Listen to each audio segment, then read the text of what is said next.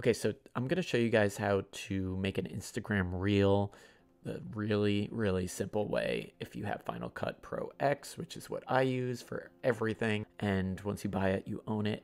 Um, so I'm over here on my timeline, and this is the clip that I'm going to use. I want this chicken and some of this drone footage. So I'm going to go ahead and select all, hold Command C to copy. We're going to go up to File, New Project, and we're going to change the size to 1080 by 1920 and we're going to set the frame rate to 2997 and this is going to give us our vertical plate which is what Instagram, TikTok, and YouTube Shorts use. Once our clip loads, we can see here that we've got black bars on the top and the bottom, which I like to get rid of um, I just reset the scale here so you could see while I zoom in. Um, but we're gonna select scale and we're gonna scale this up just until those black bars are gone. Now, once I'm in the air, we can see that the um, the GoPro footage has major black bars here. So I'm gonna go ahead and scale this up.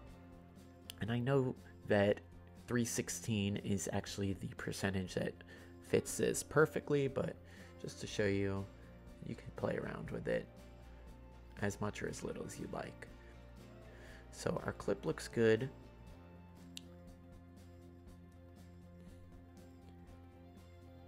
But this is a little too much at the head of the chicken. So I kind of want to clip this. And I'm going to show you how to do that right now by selecting the blade tool, which you can hit with B. So once we have our blade tool, we also want to make sure that we have snapping turned on, which is over here on the right side. And that just makes everything magnetic and it feels a lot better. So we're going to click where we want to split the clip. And now we can actually select this clip at the head and delete it. And you can do that by hitting the delete key. I'm also going to clean up this audio at the bottom because I'm not going to use it. And now we've got a shorter clip goes right into our drone footage.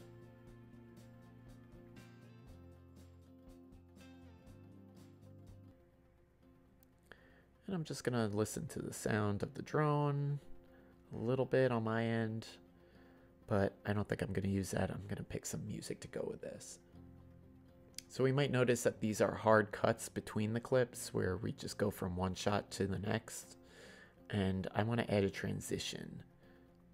So over here on the right side, it looks like the like a sideways hourglass. We're gonna select a transition. Cross dissolve is great because it's simple and I use it for everything. And you can just go ahead and drop that between the two clips.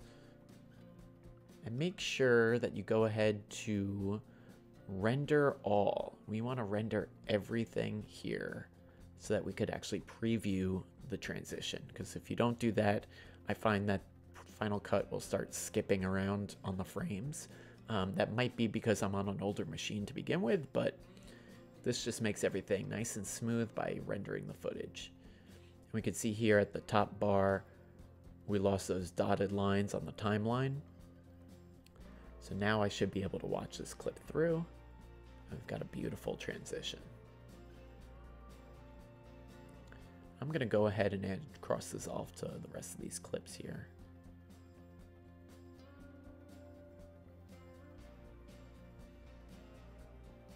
Now to zoom in on the timeline, you can hold command and tap the minus key or the plus key.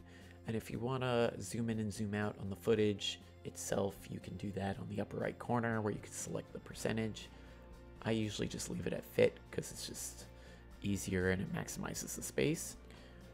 So a little text goes a long way. And if we want to add some to our clip, we're going to go up to edit and down here at connect title basic title is going to give us our text, which you can trim, you can chop it up and copy and paste it as many times as you'd like. Um, I'm going to go ahead here and just change the text to something of test related. Hi, this is a test. And you can actually change the font, uh, vertical alignment, you can italicize it, bold it, whatever you want. I'm going to go ahead and just show you you can do an outline, glow, you can even do a drop shadow.